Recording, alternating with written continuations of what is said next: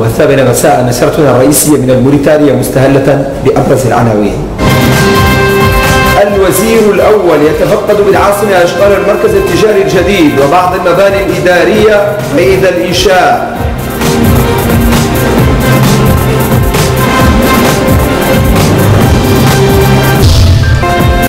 الدفاع المدني يعزز منشآته في العاصمة بتدشين مركز لليقظة والإنذار والتسيير وتسيير الأزمات.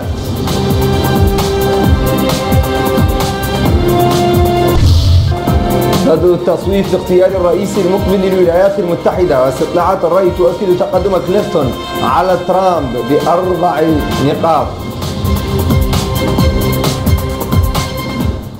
أهلا بكم إلى تفاصيل النشر وجه رئيس الجمهوريه السيد محمد عبد العزيز برقية تهنئة إلى ملك كمبوديا.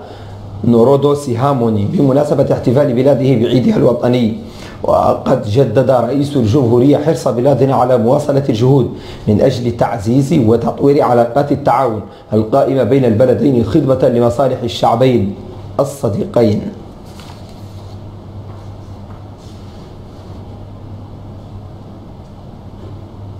أدى الوزير الأول السيد يحيى والحدمين صباح اليوم زيارة تفقد واطلاع لمنشئتين بالعاصمة. شملت المركز التجاري الجديد وسط العاصمة وبعض المباني الإدارية قيد الإنشاء في مقاطعة تفرغ زينة. نواكشوط لم تعد مدينة تقليدية في الشكل والتصميم. إنها تتطور سريعا عمرانيا وخدميا. أحدث الأسواق يتربع هنا في قلب المدينة بعد مرور فترة وجيزة على تأسيسه. وكي يكون متنفسا للباعة والمتسوقين.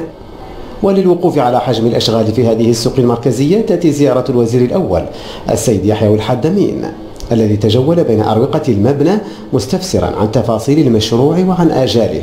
بينما رد مسؤول شركة إسكان والوزارة الوصية على استشكالات الوزير الأول. مجهز بكافة التجهيزات العصرية اللي يطلب السوق عصري؟ فيه نظام نظام أمان آه، عالي نظام ضد الحرائق. آه، ننتظروا نعتبر عن اليوم الأعمال وصلت آه، تقريبا أزيد من 50% وننتظروا إن شاء الله إن السوق يتم اجازه بشكل نهائي. في 10 أشهر إن شاء الله. ويتميز السوق الجديد بمواصفات عصرية سواء من حيث التصميم الهندسي أو من حيث المكونات وإجراءات الأمان التي رعيت في بنائه حيث ينبسط في مساحة شاسعة تجعل من عمليات المرور والتسوق متعة إضافة إلى الملمح العصري الذي يضفيه على وسط العاصمة. أنا واحد من أهل السوق هون السوق القديم كابيتال. ونعرف أنه سوق قديمة. وسوق جاء عليها ياسر من الزمن.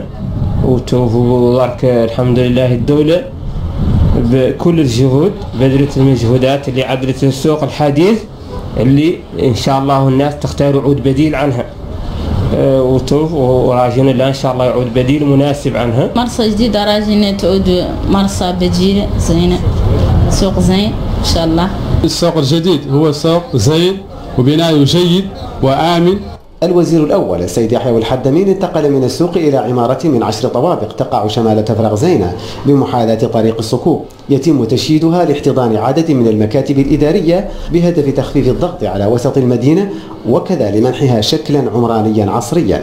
صفقة موضوع مليار و170 عن شركة وطنية قال بيستكبر والاشغال الحمد لله هي متقدمة. على تلحق الطابق الخامس. وعطاوا تعهدات إن شاء الله يسلموه قدام إن شاء الله. السوق المركزي الجديد والمباني الإدارية على طريق الصكوك محطتان عمرانيتان.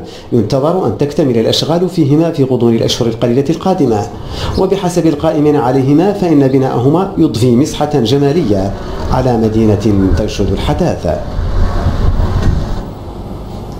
وقد تم إنشاء سوق واكشوط جديد في إطار سياسة الدولة لتوفير فضاءات تستجيب لمتطلبات العصر وشروط الأمان في الأسواق. الشيخ ابن حميد عد ورقة فنية حول هذا الموضوع.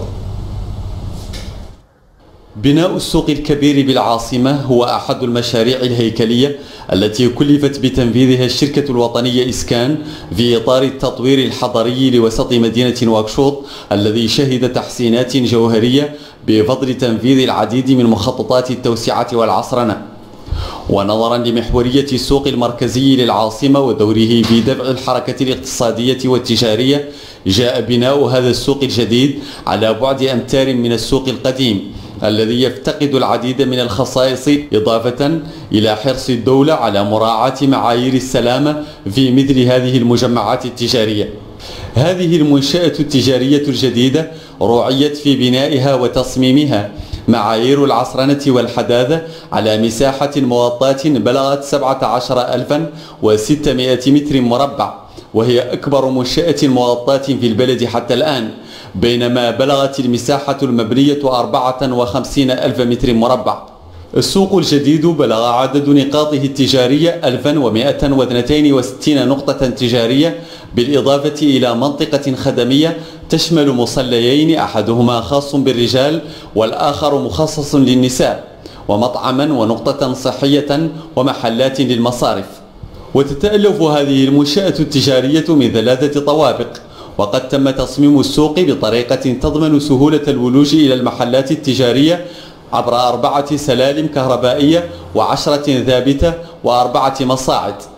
ومراعاة للبعد الأمني ينتظر أن يضم مبنى السوق 12 مركزا للرقابة بالإضافة إلى شبكة رقابة رقمية. وعلى ميزانية الدولة الموريتانية وصلت تكلفة بناء السوق خمسة مليارات وسبعمائة مليون من الأوقية في الوقت الذي وصلت الأشغال حدود الستين في المئة وينتظر اكتمالها بعد عشرة أشهر في إطار الآجال التعاقدية هذا ونلفت عنايتكم مشاهدينا الكرام إلى أن حلقة الليلة من برنامج تحت الضوء التي تأتيكم بعد هذه النشرة تقدم مزيدا من التفاصيل عن سوق نواكشوط الجديد.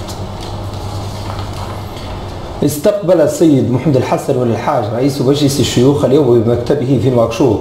سعادة السيد بلال أسم الله الصديق سفير جمهورية السودان المعتمد لدى موريتانيا. تناول اللقاء التعاون بين البلدين الشقيقين والسبل الكفيلة بتعزيزه خاصة في المجال البرلماني. أشرف وزير الداخلية واللامركزية صباح اليوم بنواكشوط. على تدشين مركز العمليات اليقظة والإنذار وتسيير الأزمات. يأتي إنشاء هذا المركز التابع للحماية المدنية في إطار الشراكة بين بلادنا وحلف الشمال الأطلسي. يرمي إلى حماية المواطنين وممتلكاتهم. مركز العمليات لليقظة والإنذار وتسيير الأزمات يعد إضافة نوعية إلى الحماية المدنية من أجل تعزيز قدراتها في إطار الاستراتيجية الأمنية التي تنتجها الدولة في حماية المواطنين وممتلكاتهم. المشروع الجديد يأتي ثمرة شراكة وتعاون بين الجمهورية الإسلامية الموريتانية وحلف الشمال الأطلسي ضمن مشاريعه الموجهة للسلام والأمن. لقد تم إنشاء هذا المشروع. في إطار التعاون بين الجمهورية الإسلامية الموريتانية وحلف الشمال الأطلسي وبدعم من كندا وفرنسا عن طريق الأمن المدني الفرنسي خلال أربع سنوات ما بين 2012 إلى 2016 وبغلاف مالي قدره مليونان وسبعمائة ألف أورو أي حوالي مليار من الأوقية. إن انطلاق العمل في هذا المركز سيدعم دون أدنى شك قدرات الحماية المدنية وسيقدم حلولا ناجعة فيما يتعلق بالمجالات التالية. حماية المواطنين من المخاطر المختلفة.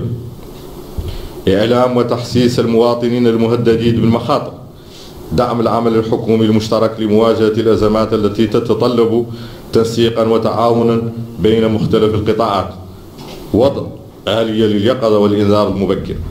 السيد جوليون ماريون المدير العام المساعد للإدارة العامة للأمن المدني وتسيير الأزمات في الجمهورية الفرنسية. أوضح أن هذا المركز سيكون دعامة أساسية ومهمة للحماية المدنية الموريتانية. ولكل الموريتانيين من خلال النتائج المتوقعة من تدخلاته في المستقبل. وتحدث عن الوسائل والتقنيات التي يتوفر عليها المركز حاليا وتطوراته المرحلية المتوقعة خاصة على مستوى الولايات الداخلية. بدوره السفير الأمريكي في بلادنا السيد لاري أندريا عبر عن شكره للسلطات الموريتانية وسعادته بحضور تدشين هذا الإنجاز الهام بالنسبة للشعب الموريتاني. وأكد أن هذا المشروع الممول في إطار التعاون بين حلف الشمال الأطلسي سيكون بالغ الأهمية بالنسبة لموريتانيا. بعد ذلك تابع الحضور عرضا مفصلا حول تدخلات المركز وأهدافه ومعداته وآفاقه المستقبلية. قدمه منسق المشروع المفتش محمد لمين المليعلي والجنرال دانيس ونيلير.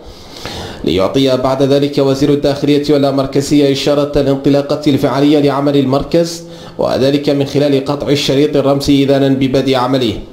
كما تفقد الوفد مختلف أجنحة المركز حيث اطلع من القائمين عليه على مدى جاهزيته للتدخل عند الحاجة. هذا وقد أدى الوفد زيارة ميدانية لكل من ثكنة الحماية المدنية بمقاطعة الإكسر ومركز الحماية المدنية بتفرق زينة. اللذين توجد بهما مراكز شهوية تابعة لمركز العمليات لليقظة والإنذار وتسيير الأزمات. بالجانب الصحي تفقد وزير الصحة سوال اليوم مركز أمراض وجراحة العظام ومعالجة الحروق البليغة حيث اطلع على أعمال الفريق الطبي المشترك الذي يجري حاليا عمليات جراحية لمرضى الكسور والمفاصل. تفاصيل أكثر في سياق هذا التقرير. ضمن الجهود المبذولة من أجل التحسين من الخدمات الصحية في بلادنا وتقليص الرفع إلى الخارج يجري فريق طبي مشترك بين بلادنا والمملكة المغربية وإسبانيا بمركز أمراض وجراحة العظام ومعالجة الحروق البليغة عمليات جراحية لزرع مفاصل الركبة والحوضين للمرضى المصابين جراء الكسور والحوادث وغيرها. وبهدف الاطلاع على هذه العمليات الجراحية الأولى من نوعها في بلادنا ومعرفة الظروف الصحية للمستهدفين. تفقد وزير الصحة البروفيسور كان بوبكر نزلاء هذا المركز واستمع إلى شروح مفصلة من المشرفين على هذه العمليات تتعلق بطبيعة العلاجات المقدمة ودورها في التخفيف من معاناة المرضى. شاكر دول عدد الدواء. ما شاء الله نحن ما نقص خارج في دول في مدينة ناقشت. يعني جزاك الله وشاكم كامل إن شاء الله. ما عنده أي مشكلة. الحمد لله رب العالمين. عنده فحص كامل. عنده كل شيء. إن شاء الله. لا جزاك الله خيرا. ويعنى هذا المركز حديث الخدمات بمعالجة الكسور والحروق البليغة. هذو عمليات يختص بهم مجموعة من المرضى الكان هي تمثل نسبة مرتفعة من الناس اللي ترتفع الخارج. وهاي التوجهات الدولة قررت تعلن تلاقي ارتفاع مريض والله تلاقي ارتفاع يكون القليل من المرضى. الطاقة الاستيعابية لهذا المركز تصل 50 سريرا ويتوفر على أحسن التجهيزات العصرية. معززة بأخصائيين في الكسور والحروق ويضم جناحا للحالات المستعجلة وآخر لجراحة العظام يحتوي على غرف للعمليات إضافة إلى قاعتين للعلاج وأخرى للإنعاش تضم أربعة سرة مجهزة كما يضم مختبرا وقاعة للأشعة وغرفا للحاجزة المركز يتوفر على جناح خاص بالحروق يضم غرفا للعمليات وأخرى لعلاج الحروق البليغة مجهزة بسرة خاصة بالحروق. تفقد وزير المياه والصرف الصحي زوال اليوم سير الأشغال في مشروع صرف مياه الأمطار من المناطق المنخفضة في مقاطعتي تفرغ زينة والإكسر بولاية نواكشوط الغربية. سيبكر هذا المشروع الذي يتكون من شبكة تزيد مساحتها على 15 كيلومتر مربع لتجميع المياه المطرية من صرف 220 ألف متر مكعب يومياً. شبح مياه الأمطار يسلك طريقه نحو التبدد عن سكان العاصمة نواكشوط. وزير المياه والصرف الصحي السيد محمد عبد الله والوداع يتفقد سير أشغال مشروع صرف مياه الأمطار والمياه الجوفية عن مناطق العاصمة المنخفضة. المشروع الممول من طرف الدولة الموريتانية يشمل ولايات نواكشوط الثلاث على مساحة 15 كيلومترا مربعا. الوزير تلقى والوفد المرافق الشروح الفنية من القيمين على تنفيذ المشروع في مختلف محطاته واستمع إلى العراقيل والصعوبات التي تواجه تقدم الأشغال في مختلف مراحلها. الوزير أبدى استعداد الدولة لتذليل كل الصعوبات في سبيل إنجاز المشروع في أجله المحدد وطبقا لمعايير دفتر الالتزامات. الجولة التفقدية قادت الوزير إلى مركز الشركة الصينية المنفذة للمشروع حيث تشيد أنابيب الصرف المستعملة في صرف مياه الأمطار. وبالمركز عقد اجتماعا مع إدارة الشركة ومهندسيها حيث أطلع على مختلف المراحل التي مر بها المشروع حتى الساعة. شبكة من الخرسانة المسلحة بطول 31 كيلومترا ستمر تحت ولايات واكشوط الثلاث محفورة في عمق يبدأ من مترين إلى أربعة أمتار. تربط هذه الشبكة بين أربع محطات ضخ لتجتمع بعد ذلك المياه في محطة الضخ الأخيرة وسط العاصمة ومنها إلى البحر بسعة تبلغ 220 ألف متر مكعب في اليوم. هذا المشروع يتكون من آه، كل قطب لا تعد فيه شبكة تجمع المياه آه، مكونة من آه، قنوات مصنعة من خرسان مسلحة بتون أرمي. لا تعد مردومة ما بين مطر إلى التماطر.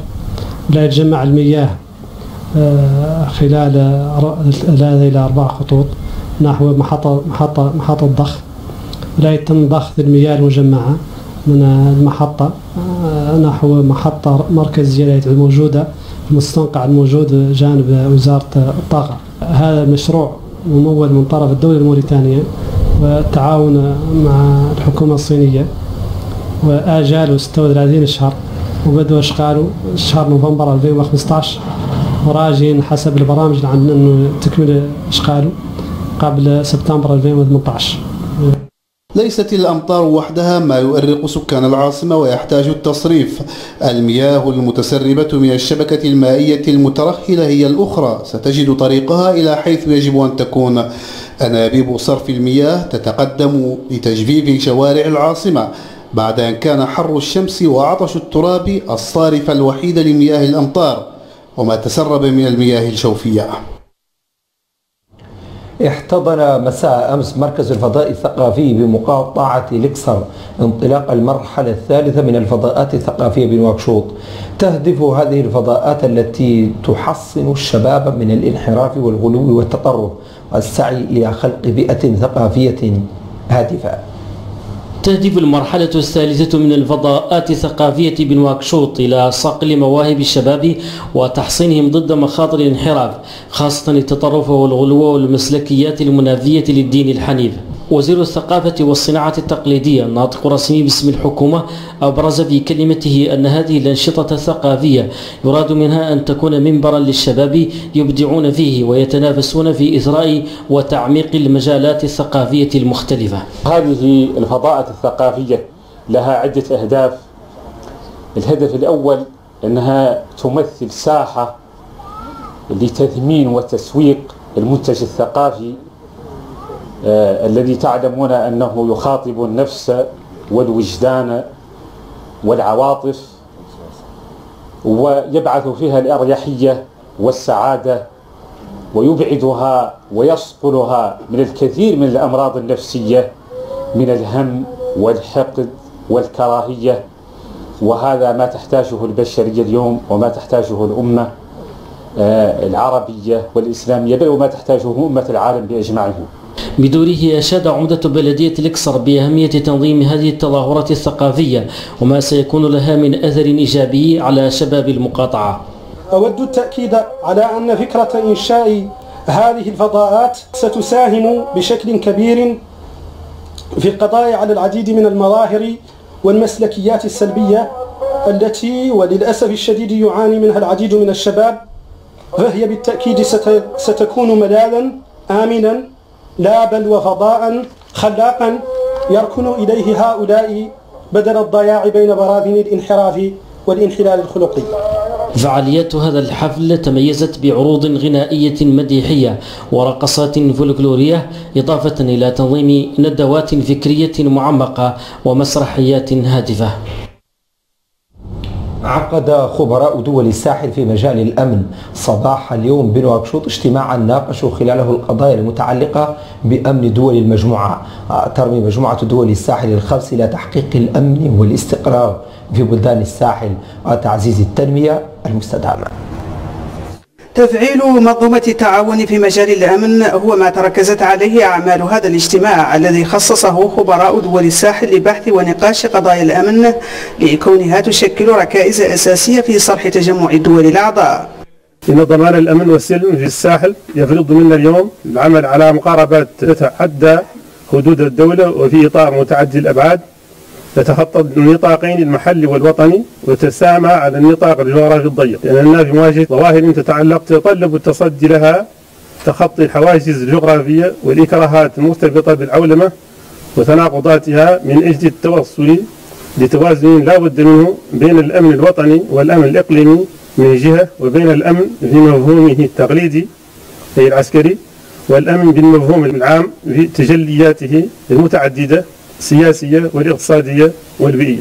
الجنرال محمد المهند الزناقي الخبير لدى الأمانة الدائمة لمجموعة دول الساحل الخمس قال إنه تم تطوير منظومة التعاون في مجال الأمن من طرف دول المجموعة فور إنشائها في نواكشوط مايو 2014 خلال الاجتماع الأول لوزراء الداخلية لدول الأعضاء.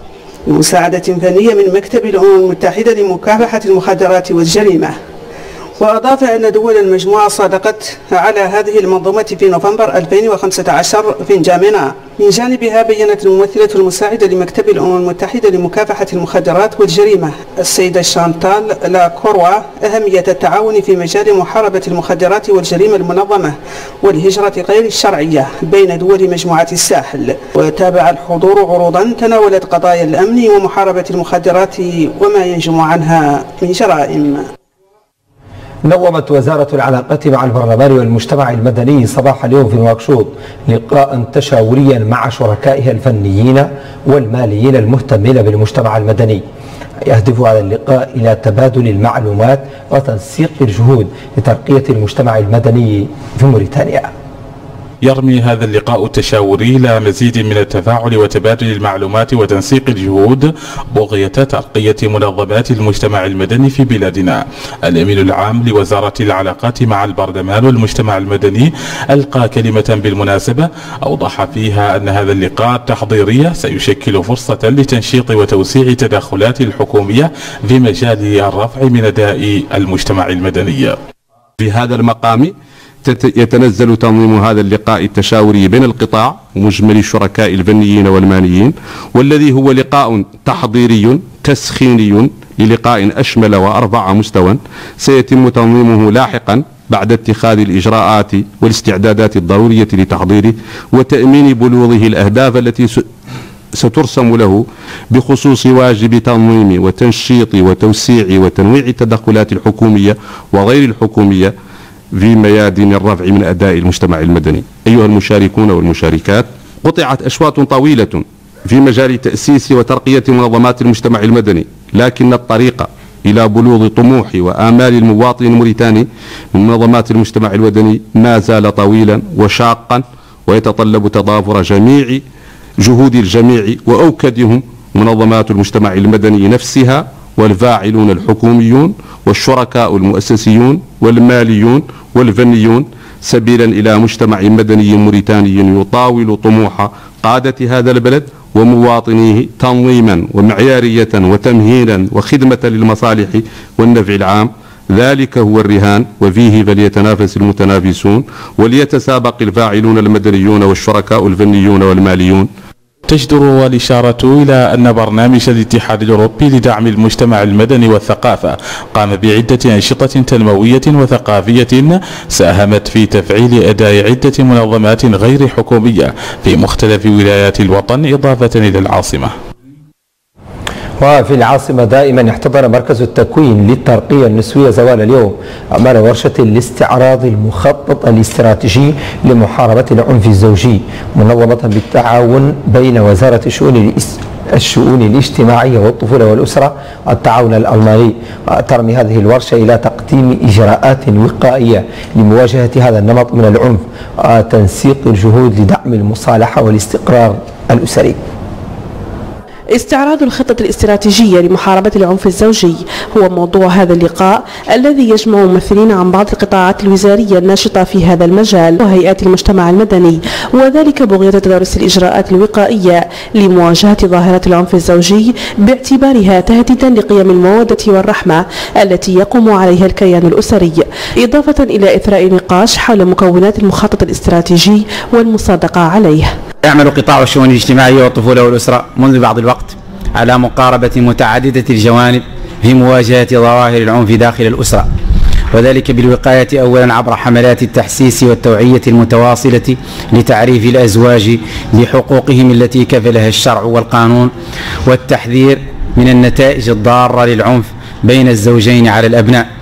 كما نصب القطاع لجانا جهوية في جميع الولايات لاستقبال ومعالجة النزاعات الأسرية وتشجيع المصالحة والاستقرار والوقوف مع ضحايا العنف الزوجي ومؤازرتهم إذا اقتضت الضرورة. ممثلة التعاون الألماني في بلادنا السيدة إيفا لانج أوضحت أهمية هذه الورشة لبحث السبل الكفيلة للتصدي لجميع أشكال العنف الممارسة ضد النساء. وطالبت الفاعلين في المجال بتكاتف الجهود للوصول للأهداف المنشودة مؤكدة مواصلة دعم هيئتها لبلادنا بهذا الخصوص. المشاركون في الورشة تابعوا عروضا تتعلق بالتقرير السنوي لإدارة الأسرة وتقديم وضعية النزاعات الأسرية والعنف الزوجي والاستراتيجية المتعلقة بذلك ودعم الإطار القانوني والسياسي والمؤسسي سبيلا للخروج من مقترحات من شأنها حماية حقوق المرأة ومكافحة مختلف أشكال العنف الموجه ضدها وتحسين خبرات العاملين في مجال تنفيذ السياسات الأسرية. إلى ولاية تجانت حيث احتضنت مدينة تجيكجا عاصمة الولاية أعمال ورشة تحسيسية حول مخاطر التطرف وطرق الوقاية منه. تنظم هذه الورشة من طرف مشروع مكافحة التطرف وترقية المواطنة لدى الشباب بوزارة الشباب والرياضة. هي عاصمة ولاية تجانة تجيكجا حيث حطت قافلة المنتديات الجهوية للتحسيس حول مخاطر التطرف وطرق الوقاية منه رحالها. منتديات تناقش مع شباب الولايات على مدى يومين إشكالات التطرف وأهداف التنمية المستدامة وترقية المواطنة وسبل دمج الشباب في الاقتصاد المحلي. إن الشباب هو القوة الحية في البلاد وهو دعامة نهضتها وغايتها وهدفها وهو بذلك درع حماية البيضة ورافع راية الشرف والعز والكبرياء. ومن هنا احتل المجتمع الموريتاني وخاصة شريحتي الشباب والنساء الصدارة في برنامج فخامة رئيس الجمهورية السيد محمد بن عبد العزيز الذي تشيره حكومة معالي الوزير الأول مهندس يحيى الحدمين على تنفيذه. ومن هنا يأتي انعقاد هذه الدورة التكوينية لتحصين البراعم والشباب ضد مخاطر والتحديات المتعددة كالتطرف والإرهاب والإجرام العابر للقارات والمخدرات والهجرة السرية وغير ذلك كثير. المنتديات الجهوية للتحسيس حول مخاطر التطرف وطرق الوقاية منه تتنزل ضمن مشروع مكافحة التطرف وترقية المواطنة لدى الشباب. تحت إشراف وزير الشباب والرياضة الدكتور كومبوبا كان لقطاعنا الحول السعيد في إدارة استراتيجية جديدة للشباب والرياضة الترفيه للفترة من 2015 2020 صادق عليها الحكومة في 30 يوليو 2015 ويدخل هذا المشروع محاربة التطرف والمواطنة لدى الشباب في موريتانيا في هذا الإطار ليكون أول مشروع داعما لهذه الاستراتيجية الجديدة. يتمثل الهدف المشروع في تعزيز ودعم القدرات الموريتانية لمواجهة التحديات المستزايدة المرتبطة بالإرهاب والتطرف لدى الشباب وطرف المواطنة. المشاركون في الورشات المنبثقة عن هذه المنتديات ثمنوا العروض المقدمة خلالها. كانت ما شاء الله دورة جيدة. تلقينا فيها مجموعة من الدروس مجموعة من المحاضرات. وعدنا أيضا بعض من بعض من الندوات اللي كانت فم من أجل؟ من أجل فهم هذا الفكر المتطرف. تلقينا جميع مجموعة من المحاضرات. كانت مهمة مهمة أهمية كبيرة بالنسبة للشباب. المحطة الأخيرة للمنتديات الجهوية ستكون بعاصمة ولاية البراكن ألاق خلال الأيام المقبلة. احتضنت مقاطعة تركيز بولاية ترابزا تظاهرة سياسية نظمها بعض الأطر والمنتخبين الفاعلين السياسيين من أبناء المقاطعة. قد استعرض المتدخلون خلال هذه التظاهرة مخرجات الحوار الوطني الشامل. قد حثت المداخلات المواطنين على التمسك بمخرجات الحوار الوطني الشامل باعتبارها تكريسا لمرحلة جديدة من التجربة الديمقراطية لبلادنا. أشاد منظم هذه التظاهرة بالتوصيات الصادرة عن الحوار الوطني الشامل موضحين أن تطبيقها يفضي إلى مزيد من التلاحم بين مختلف مكونات الشعب ويعزز حقوق الإنسان في مختلف المجالات. نتوقف الآن مع جديد الاقتصاد والزميل أحمد للحسن.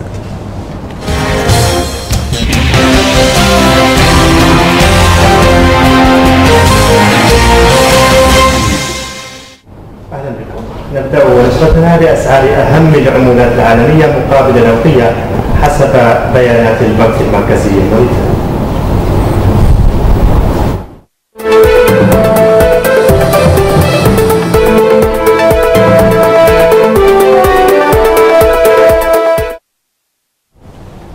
وقعت إمارة دبي اتفاقا يسمح لشركة أمريكية بإنشاء خط نقل تفوق سرعته سرعة الصوت.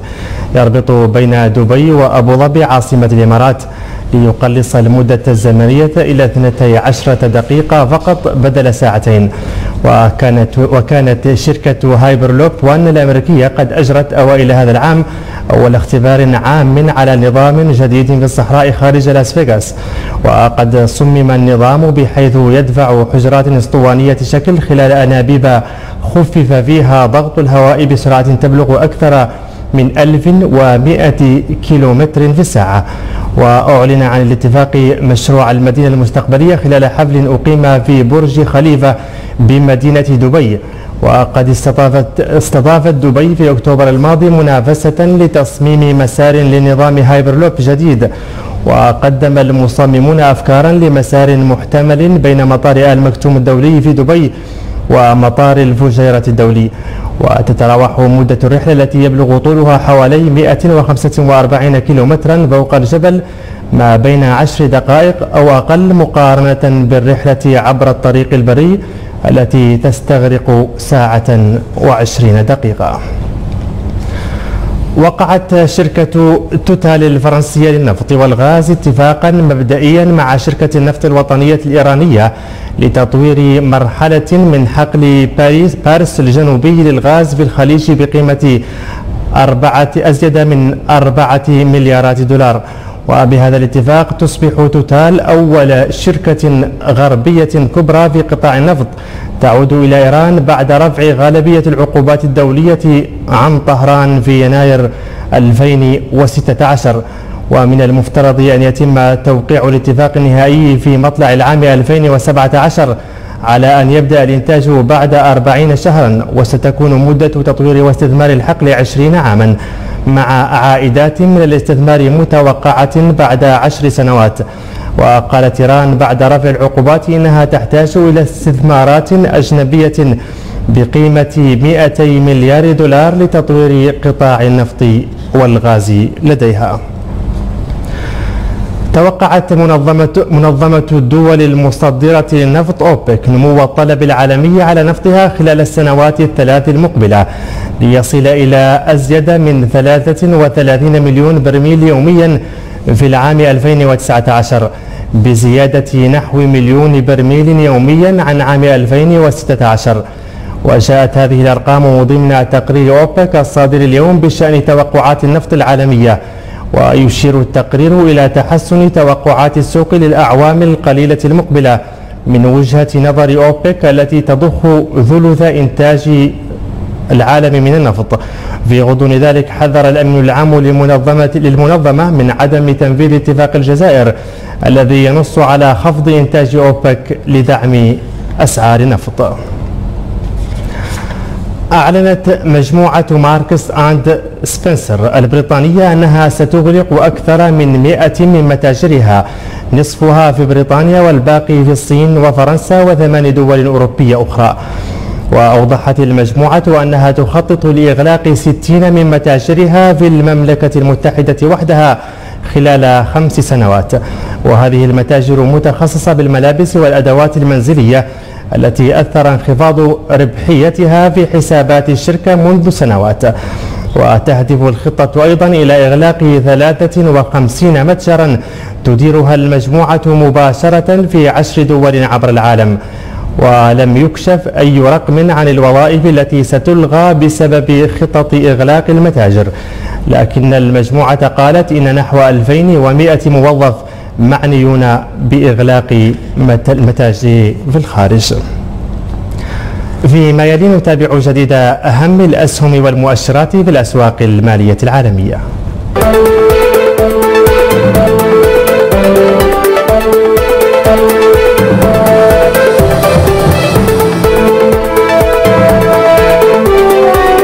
ما تبقى من أخبار الثامنة متواصل مع محمد لمين والعبد الودود. أهلا بكم مجددا. واصلت قوات البشمركة العراقية تقدمها في بلد في بلدة بعشقه شمال الموصل بينما يزال مسلحو تنظيم داعش يتحصلون في جنوب داخل في الجنوب داخل البلدة. في المحور الشرقي للمدينة أحرزت القوات العراقية تقدما وسط عن مقتل سبعة من عناصرها. قالت مصادر إعلامية عراقية إن قوات البشمركة وصلت إلى وسط مدينة بعشيقة وتحاول بسط سيطرتها في مواجهة معارك عنيفة لا تزال مستمرة حتى الآن مع مسلح تنظيم الدولة. وكانت قوة البشمركة المدعومة بغطاء جوي من طائرة التحالف الدولي تحركت صباح الاثنين باتجاه بلدة بعشيقة التي تقع على بعد 12 كيلومترا إلى الشمال الشرقي من الموصل بهدف السيطرة عليها. حيث تقول البشمركة إنها باتت تسيطر على أكثر من نصف البلدة. وقال قيادي بالبشمركة إن قواته تمكنت من قتل وأسر عدد من مسلحي تنظيم الدولة مشيرا إلى أن البلدة كبيرة وتحتاج إلى وقت طويل للسيطرة عليها. من جانبها أعلنت وزارة الدفاع الأمريكية إن مروحيات أباتشي تشارك في عمليات الإسناد الجوي التي توفرها الولايات المتحدة للقوات العراقية في هجومها الرامي لاستعادة مدينة الموصل وفي هذه الأثناء قالت وكالة أعماق التابعة لتنظيم الدولة الإسلامية إن 25 على الأقل من القوات العراقية قتلوا في هجومين بسيارتين منغمتين شرق الموصل مما أدى إلى تدمير سبع عربات. وقد بثت وكالة أعماق تسجيلا مصورا لتدمير دبابة للجيش العراقي باستخدام صاروخ موجه في منطقة العداية جنوب غرب الموصل. توجه ملايين الناخبين الأمريكيين اليوم لصناديق الاقتراع لاختيار رئيس الولايات المتحدة المقبل وسط تقارب بين حظوظ المرشحين بفارق أربع نقاط لصالح المرشحة الديمقراطية هيلاري كلينتون. وقد أدلت كلينتون بصوتها في إحدى لجان مدينة تشاباكوا بولاية نيويورك بصحبة زوجها الرئيس الأسبق بيل كلينتون. في حين أدلى المرشح الجمهوري دونالد ترامب بصوته في مركز للاقتراع يقع قرب مسكنه في نيويورك. نتوقف الآن مع جديد الرياضة ومحمد طلحة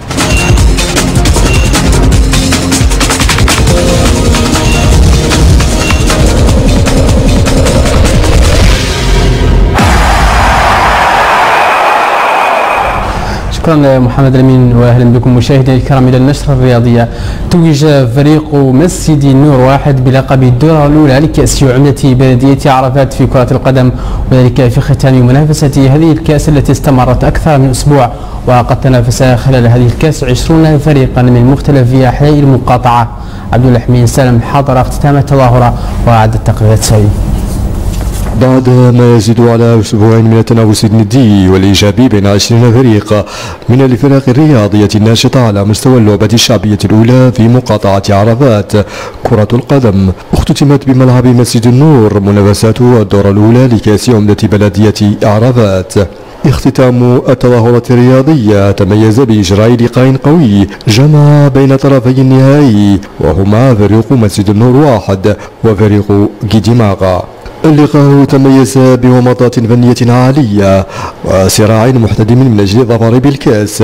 قبل أن يحسم عناصر فريق مسجد النور واحد الأمور لصالحهم ويعانق الكأس القالية بعد فوزهم بنتيجة هدفين دون مقابل. هذا الكأس يدخل في إطار اهتمام البلدية بالشباب اللي لعبت عليه في السنوات الماضية.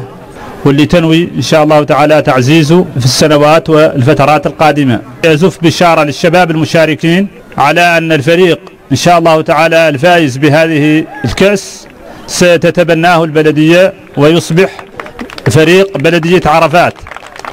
وتنافس به البلدية إن شاء الله تعالى في المراحل القادمة. و أيضا أطمئنهم اننا سنهتم مستقبلا وبشكل أكثر بانشطه الشباب والرياضة. الحفل الختامي للدوره الأولى من كأس عمدة بلدية عرفات تميز بتوزيع الجوائز والكؤوس المسلمة لأصحاب المراكز الأولى إضافة إلى الجوائز الفردية والتشجيعية التي شملت طاقم التحكيم ولجنة التنظيم. أنهى المنتخب الوطني للمرابطون ميرانه الثاني بمدينة سوسة التونسية التي وصلها أمس الأول في مستهل معسكر تدريبي. يقوم به هناك إلى غاية السابع عشر من الشهر الجاري وسيتخلل المعسكر التدريبي لقاء دولي ودي مع المنتخب التونسي يوم الخامس والخامس عشر من شهر نوفمبر الجاري بملعب أولمبيك قابس في مدينة قابس. وسيجري المنتخب الوطني لقاء وديا آخر قبل لقائه بنصير قرطاج. يجمعهم مساء العاشر من الشهر الجاري مع النادي الإفريقي بملعب شادري زويتن من العاصمة التونسية. تونس يندرج هذا المعسكر في إطار التحضيرات المتواصلة لإعداد المنتخب الأول للدخول في التصفيات الموحدة لكأس إفريقيا للأمم 2019 التي ستنطلق شهر مارس المقبل. قال رئيس الاتحاد الموريتاني للرجبي السيد جالو أمادو الملقب فيه إن الدورة التدريبية التي تنظمها الاتحادية كل شهر بالملعب الأولمبي قد مكنت المشاركين بها المختلف المراكز الرياضية ومدارس الرجبي من التعرف عن كثب على قواعد وفنيات هذه الرياضة التي ما تزال تبحث عن موطئ قدم لها من الرياضات الممارسة في بلادنا. هذا اليوم قاعدين عيد الاندياء ونكونوا نكونوا الأطفال الأطفال. والاساتذه وهذا منه تلك الصغار تكوينهم لانهم يتعودوا بتكنيكات تكنيكات رقبي وقوانينها. هذا هو الانديات المستقبلي. عندهم مكون أعطينا وقته يتم كل مرتين للشهر يكون الأساتذة ويكون الأطفال. شكرا على كرم المتابعة. بعد الفاصل عبد الله محمد جميل عبد المجيد.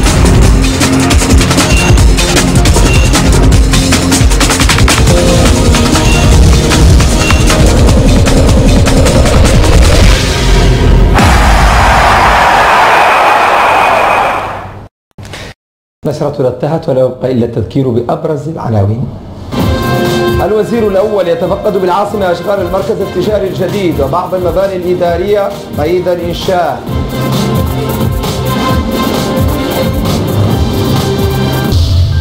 الدفاع المدني يعزز منشآته في العاصمة بتدشين مركز لليقظة والإنذار وتسيير الأزمات